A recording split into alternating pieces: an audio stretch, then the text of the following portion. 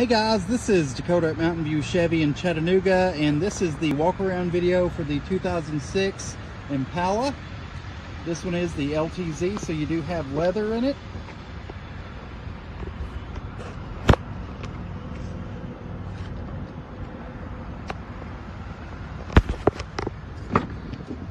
Good amount of rear leg room as well. Power driver seat. 113 787 on the mileage. Automatic headlight control there. Climate control with heated seats and the sunroof.